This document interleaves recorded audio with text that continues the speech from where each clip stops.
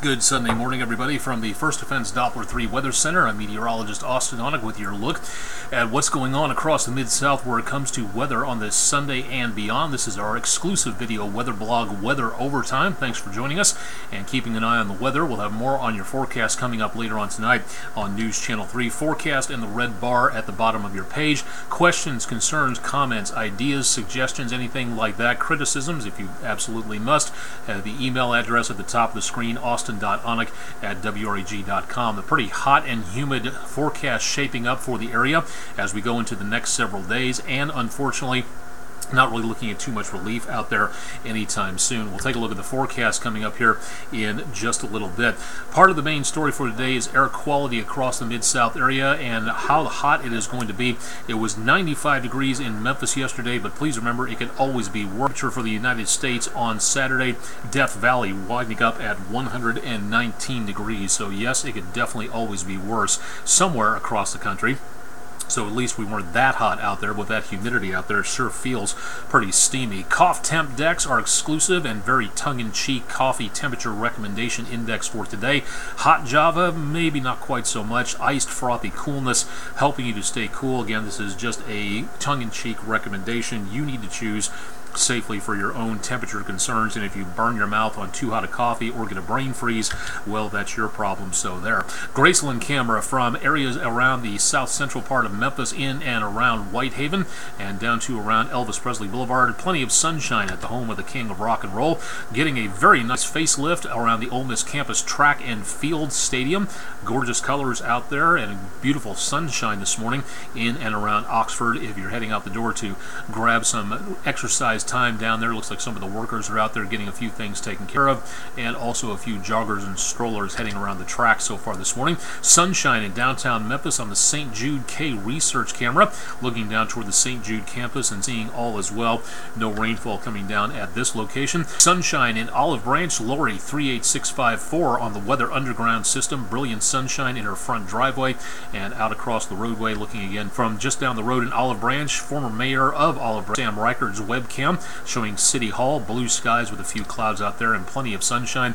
Our Hilton East Memphis camera appears to be suffering a slight hiccup. Apologies for that and heading out the door again today. Not too much of a problem where wildfires are concerned. Low wildfire danger, and as of right now, in the states that make up the News Channel 3 viewing area, we have no reports of any burn bans showing up. Tennessee doesn't really issue them except in extraordinary circumstances. You do need a burn permit at certain times during the year, so call the Tennessee Division of Forestry with the Department of Environment and Conservation and find out more, or call your local fire department to find out when it is safe to have things like campfires fires ready to go. If you're going camping, that's something to notice. Check with the park ranger or with the websites from the state to see if you can light fires.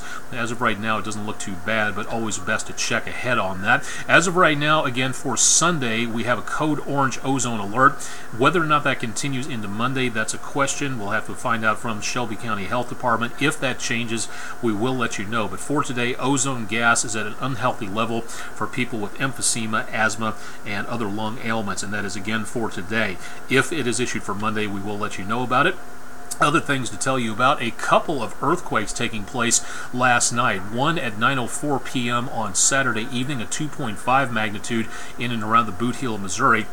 And just north of Memphis early this morning at 1:27 a.m., a 2.3 magnitude earthquake occurred.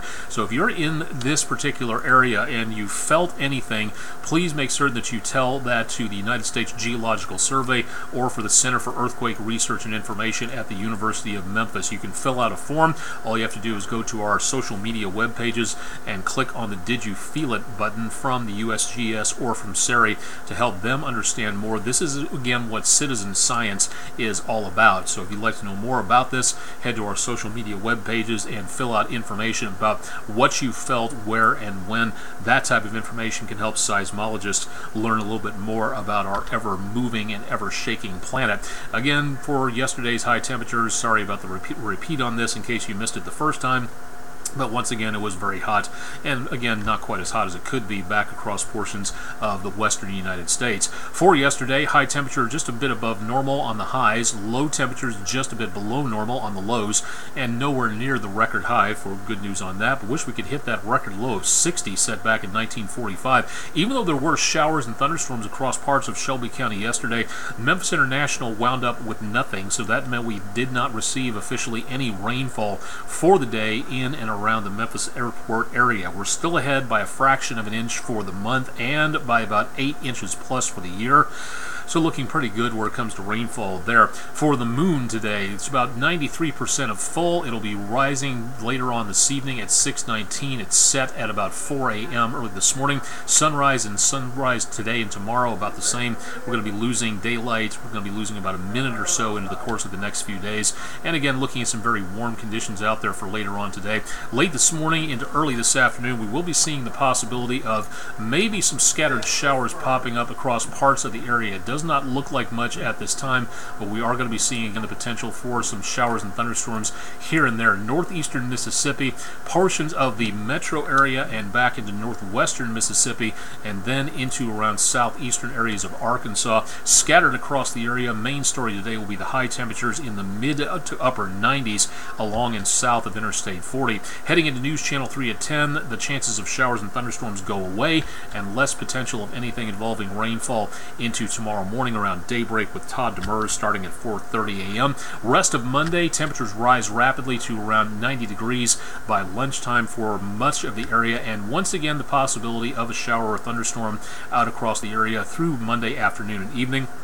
So if you have plans for outdoors, anything involving, say, vacation Bible school, marching practice, football, soccer practice, anything like that, when thunder roars, go indoors. It may seem like a silly catchphrase, but it's something that could save your life. So please keep that in mind if you're going to be doing anything outdoors. And temperatures tomorrow evening by News Channel 3 at 10 back in the lower to mid 70s. Your seven day forecast, a chance of showers and thunderstorms today, limited and mainly in the afternoon and evening, otherwise hot and humid. Same forecast applies for Monday. A slight chance of a little bit more showers and thunderstorms on Tuesday, and again uh, for Wednesday as well, but not exactly a widespread overpowering chance. Hot and humid throughout the rest of the week. Regular air temperatures in the mid to high 90s. As we head into next weekend, temperatures remain in the mid to upper 90s, pushing the century mark.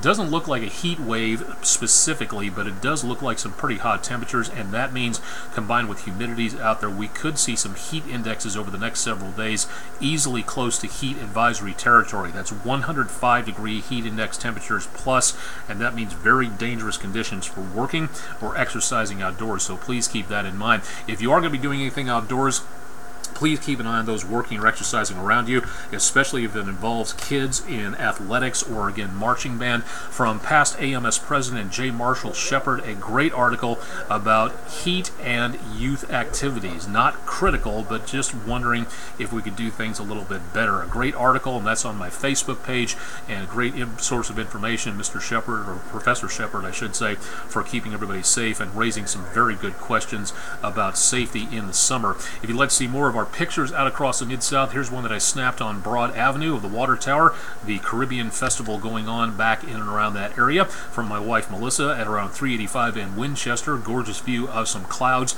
early on Saturday afternoon. And from very nice guy Brian Lurie around Arlington, Tennessee, some clouds of the passing storm moving on through early portions of Friday evening in parts of the area. If you've got anything you'd like to send in, please do so.